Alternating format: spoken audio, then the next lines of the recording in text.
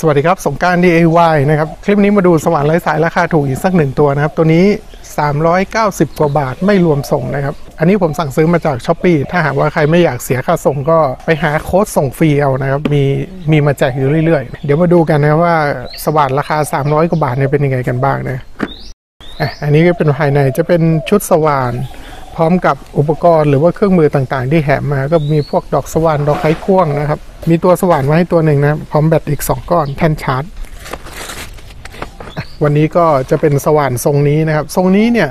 จะใหม่กว่าอีกตัวหนึ่งที่ผมเคยรีวิวไว้ ก็คือตัวเนี่ยครับที่ขึ้นภาพให้ดูนะ ตัวเนี้ยจะเป็นโมเดลที่ใหม่กว่า อีกตัวนั้นจะเป็นโมเดลที่แบบขายมายาวนานมาก ทุกวันนี้ก็ยังมีขายอยู่นะครับ แต่ตัวเนี้ยจะเป็นโมเดลที่ทำออกมาใหม่ก็งานสวยงามมากขึ้นนะครับนี่ดำตัดด้วยส้ม ผมว่าค่อนข้างจะเรียบร้อยนะครับ นี่ดูการเก็บงานต่างๆ ตัวนี้เป็นสว่าน 2 ระบบนะครับ เอาไว้ขันสกรู แล้วก็เจาะเหล็กเจาะไม้เจาะปูนไม่ได้นะครับเพราะไม่มีระบบกระแทกนะ ถ้าสว่านตัวไหนที่เจาะกระแทกได้มันก็จะมีรูปค้อนถัดไปนี่อีกอีกสเต็ปหนึ่งนะครับ แต่ตัวนี้เจาะได้แค่ 2 ระบบ ดังนั้นแล้วถ้าท่านไหนจะมาถามว่าเจาะปูนได้ไหมคือมันเจาะไม่ได้นะครับสำหรับสว่านไร้สายตัวนี้จะเป็นของยี่ห้อ MOLITA จริงๆแล้วอยากจะให้โฟกัสที่โมเดลมากกว่านะเพราะว่าโมเดลเนี่ยจะมีหลากหลายยี่ห้อมาก ก็แล้วแต่ใครจะเอามาแปะยี่ห้อ แล้วก็ทำตลาดในยี่ห้อไหน อันนี้ก็ว่ากันไปนะเพียงแต่อยากให้ดูในส่วนของโมเดลมากกว่าเผื่อๆบางทีอาจจะมาจากโรงงานเดียวกัน แล้วแต่ว่าใครจะเอามาทำตลาดในยี่ห้ออะไรแค่นั้นเอง อะแบตจะเป็นแบบสามเหลี่ยมนะครับก็จะมีเซลล์แบตเตอรี่อยู่ 3 ก้อนด้วยกัน ดังนั้นแล้ว แบตตัวนี้จะเป็นขนาด 12 โวลต์ 1 เซลล์ก็ประมาณ 4 โวลต์นะครับ 4 3 12 แต่ตรงนี้ก็เขียนโวลต์ค่อนข้างสูงเวอร์ไปนิดนึงนะครับความจริงก็ไม่นิดนะนะเยอะทีเดียว แล้วก็ในส่วนที่ให้มาก็จะมีนะครับเป็นแบต2ก้อนมีที่ชาร์จมาให้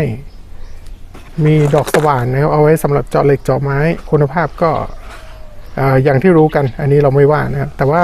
พวกหัวไขควงนี่ก็ถือว่าใช้งานได้ดีในระดับหนึ่งนะครับมีตัวเล็กๆ พวกนี้มาให้ด้วย อะเรามาฟังเสียงกันหน่อยนะครับ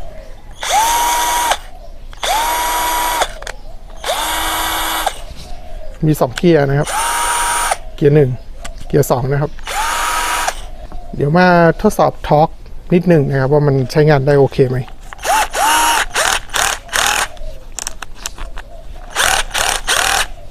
ทอร์กใช้งานได้ดีเป็นปกตินะครับ ตรงนี้ก็จะมีไฟให้ด้วย เอาไว้ส่องสว่าง เดี๋ยวผมเอาไปเทสการใช้งานให้ชมกัน ก็จะไปขันสกรูนะครับ แล้วก็เจาะไม้เจาะเหล็กให้ชมกัน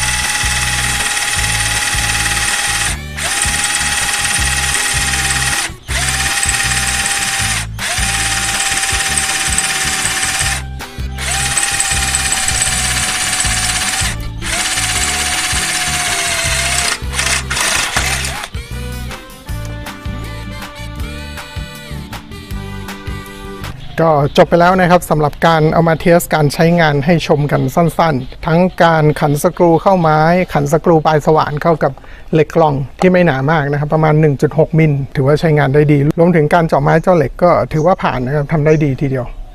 ในงบประมาณ 300 กว่าบาท ได้ของมาครบขนาดนี้นะครับ ได้แบตมา 2 ก้อน แล้วก็ตัวสว่านเนี่ยจะเป็นโมเดลที่ใหม่กว่าอีกตัวหนึ่งอย่างที่ผมกล่าวไว้ตั้งแต่ต้นนะครับ รูปร่างมันจะเพลียวมากกว่าค่อนข้างจะสวยทีเดียว ถามว่ามันเหมาะกับใครนะครับสำหรับสว่านเส้นนี้ก็เหมาะสำหรับคนที่อยากได้สว่านเอาไว้ใช้งานเป็นไขควงไฟฟ้านะครับ เอาไว้ขันน็อตขันสกรูต่างๆเนี่ยใช้งานได้ดีเลย หรือจะเอาไว้ใช้เจาะพวกวัสดุที่เนื้อไม่แข็งมากเหล็กที่ไม่หนามากเกินไปเนี่ยก็ใช้งานได้ดีทีเดียว เพียงแต่ว่าเวลาเราไปเจาะเหล็ก เราอาจจะต้องหาดอกที่มันมีคุณภาพที่ดีหน่อยนะครับ เพราะว่าดอกที่แถมมานี่บางทีมันก็เจาะไม่ค่อยเข้าเนาะ